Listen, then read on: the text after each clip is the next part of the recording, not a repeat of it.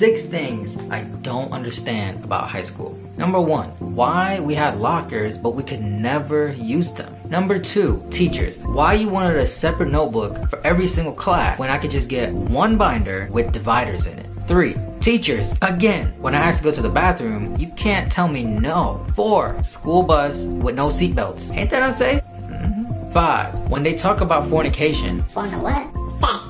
In sex ed, how come it's always bad? Six, why in the world odd auditorium seats be mad uncomfortable? These are just the things I don't understand.